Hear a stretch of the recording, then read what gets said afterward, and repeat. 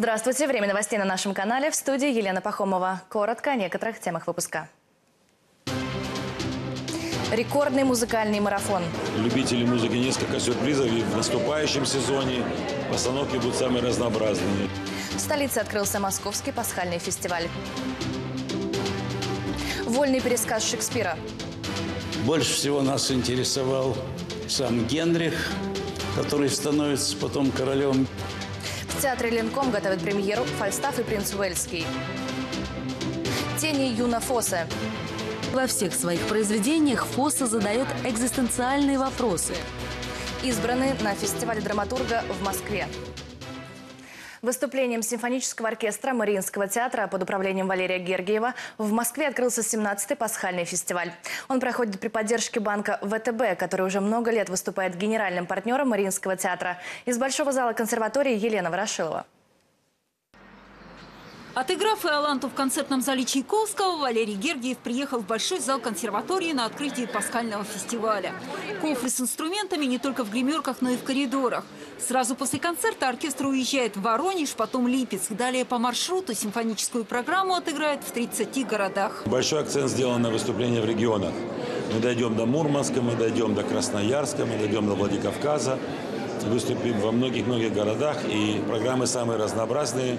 Это и русская классика, это и редко звучащие произведения, и французов, и немцев, и австри- австрийская музыка, и итальянская опера. В консерватории «Аншлаг» вечер отдан классике. Открыл концерт полонез из оперы Чайковского Евгений Онегин.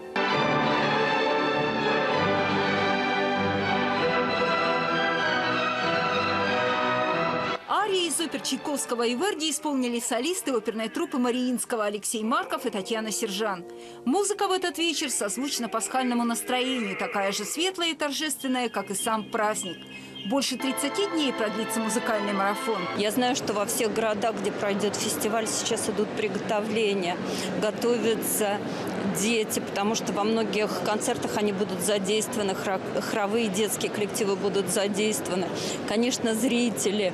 Всегда немножко не хватает билетов, и поэтому фестиваль часто выливается на улицы, на площади. Чтобы уложиться в график, музыканты будут давать по два концерта в день. Исполнят шесть опер Вагнера и Верди. Пасхальный фестиваль доберется до Китая, Германии и Швейцарии. Особенный концерт будет в Кемерове. Это будет, может быть, не самый обычный концерт, вы понимаете почему, но мы сделаем все возможное, чтобы звучала прекрасная музыка, и это будет благотворительный концерт. Завершится фестиваль 9 мая. Оркестр Мариинского театра даст концерт на Поклонной горе. Елена Ворошилова, Денис Красенков. Новости культуры.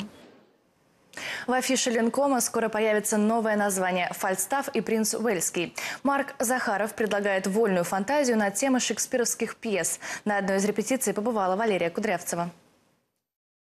Пожалуйста, играем. За почти неделю до премьеры репетиции полным ходом. Марк Захаров давно собирался и даже говорил об этом вслух ставить Шекспира. Первого в своей жизни. Долго готовился, читал разные переводы и сопряженную литературу.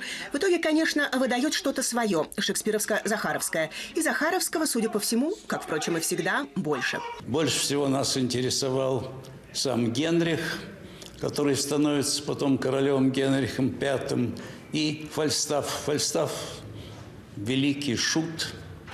Вот, а шут еще покойного Горина очень занимал. Возможно, это, этот спектакль, он сделан под воздействием тех традиций, которые заложил э, во мне Григорий Израильевич Горин. В основе фантазии Захарова на тему Шекспира – комедийные ситуации, главные герои которых – принц Уэльский Дмитрий Певцов и шут Фальстаф Сергей Степанченко. Говорят, Захаров как никогда поощрял актерскую импровизацию. Результаты сотворчества обещают на премьере. А пока Много приходится бегать, двигаться, э, перемещаться по сцене. Вот это вот э, напряжение внутреннее, этот драйв такой, который не позволяет. Ну, ну совсем. Сейчас я буду сейчас интервью давать с вами. Вот так вот, давайте, спрашивайте меня. Ну, такого, такого нету в спектакле. Если честно, я с людьми играю в дурачка. Мне так удобнее скрывать, кто я на самом деле. Никто во мне не свой дар бочонком хереса. Фальстаф, друг принца, продолжает традиции известного лукавого героя, вечного шута. Принц же Уэльский – вечный король, который снова не прошел испытания властью. Я презираю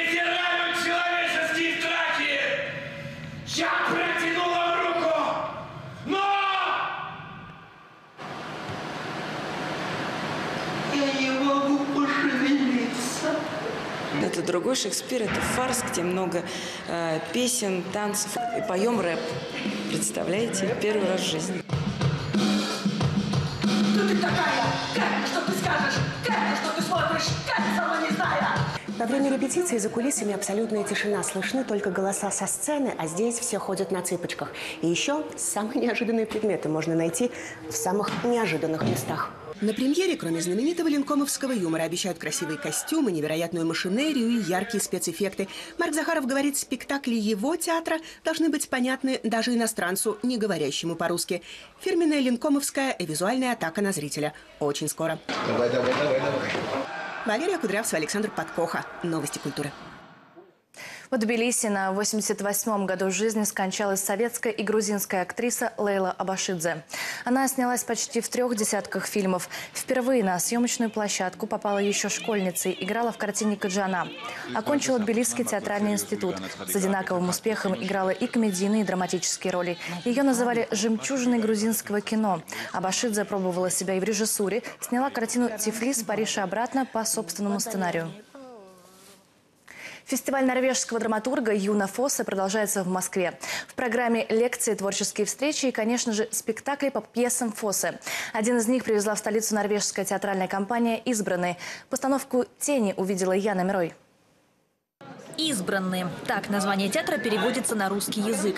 Эти норвежские артисты считают себя свободными художниками. Говорят, мы ни от кого не зависим. При этом труппы финансируются государством. Каждый год Совет по культуре выделяет нам средства на постановку спектаклей и проведение гастролей. При этом в Осло и в других городах страны есть театры, которые предоставляют нам свою сцену. Конечно, Национальный театр сосредоточен на классике, но есть много площадок и коллективов, которые занимаются именно экспериментами и получают финансирование на развитие театрального искусства. Обычно избранные сами пишут тексты для своих постановок. Произведение Юна Фоссе – редкое исключение. Спектаклю «Тени» уже 9 лет. За это время его видели во многих странах, а вот в России эта театральная компания впервые. В этой пьесе мы не можем понять, в какое время происходит действие. Мы ничего не знаем о возрасте персонажей. То, что мы используем лица детей и пожилых артистов, это наша находка. Но в этом нет специального послания, разве что мы указываем на такой феномен, как время. Такое сценическое решение родилось почти случайно. Дети артистов позировали во время тестовой съемки. Настройка техники подсказала необычную идею. Создатели спектакля настаивают на традиционной для экспериментального театра позиции. Пусть каждый зритель увидит в этом что-то свое. Текст Юна Фосса говорит сам за себя. При этом зрители 17 и 70 лет, конечно, поймут его по-разному. Как и во всех своих произведениях, Фосса задает экзистенциальные вопросы. Кто мы, откуда и, главное, в чем наша цель. Для театра «Избранные» очень важны мультимедийные элементы. Это основа их эстетики. При этом в труппе уверяют, все новые технологии акцентируют актерскую работу. На первом месте всегда человек. Яна Мирой, Игорь Горбачев. Новости культуры. Провинциальные танцы на золотой маске, абхазский фольклор в Доме музыки и выставка номинантов премии «Инновация» – все это уже сегодня.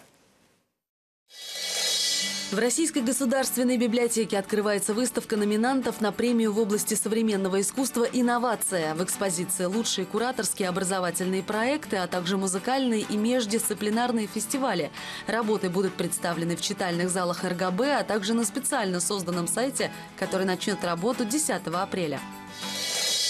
На «Золотой маске» театр провинциальные танцы из Екатеринбурга покажет спектакль «Имага-ловушка». Постановка основана на баснях Эзопа, Лафонтена и Крылова, а главный герой предстанет в необычном образе стрекозы. Конфликт насекомых для режиссера Татьяны Багановой – повод поговорить о понимании и принятии чужого мира.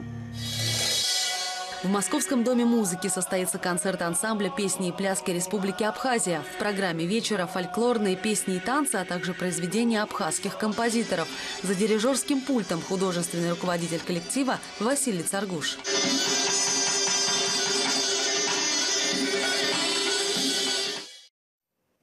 История русского народного костюма в деталях. Известный коллекционер-этнограф Сергей Глебушкин привез в Тверь часть своего обширного собрания. Как одевались женщины в разных губерниях России, расскажет Елена Ларионова.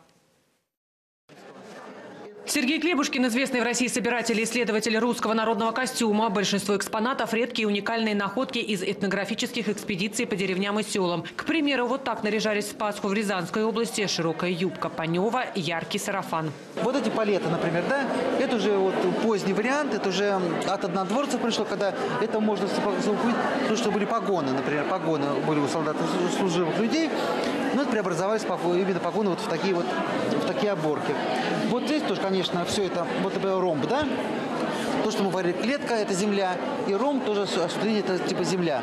В одном и том же костюме никогда не ходили. На праздники, ярмарки или в гости работали всегда в разном. Какова пряха, такова на ней и рубаха. По костюму узнавали о мастерстве и умении девушки или женщины, какая она рукодельница. Словно паспорт, наряд на Руси говорил о многом. По костюму можно было судить о происхождении женщины, из какой она губернии, о ее благополучии и семейном положении. К примеру, вот этот костюм носили в праздничные дни в Архангельской губернии. Он яркий и красиво и богато украшен вышивкой. Также по головному убору можно судить судить о том, что женщина была замужем. На выставке представлены костюмы из разных областей России, в том числе и Тверской. Вот такие очелья или попросту повязки из льна, украшенные золотыми нитями и пайетками с ручной вышивкой, носили в Сандовском районе. Всего в коллекции Сергея Глебушкина более 300 костюмов из разных уголков России. Увидеть предметы одежды с вековыми традициями можно до 28 апреля. Елена Ларионова, Максим Зайцев, Тверь. Новые конкурсанты и уже знакомые зрителям участники предыдущих сезонов демонстрируют свои таланты в телевизионном конкурсе «Синяя птица. Последний богатырь». Очередной выпуск программы выйдет в эфир в это воскресенье на телеканале «Россия-1». Ольга Енина с подробностями. Декорации, музыка, свет – все в первом павильоне Мосфильма, где проходят съемки проекта «Синяя птица. Последний богатырь», создает ощущение, что попал в сказку. А новый сезон действительно сказочный и готовит своему победителю особенный подарок – возможность принять участие в съемках продолжения популярной киносказки «Последний богатырь». 11-летний Андрей Беляков мечтает и в кино сниматься, и создать собственную рок-группу. Пока же на проекте играть на органе, а этого на «Синей птице» еще никто не делал. Мне больше всего нравится съемка, процесс именно того, как там играешь, тебя снимают, выходишь, что-то говоришь. Интервью нравится тоже. Это уже третье.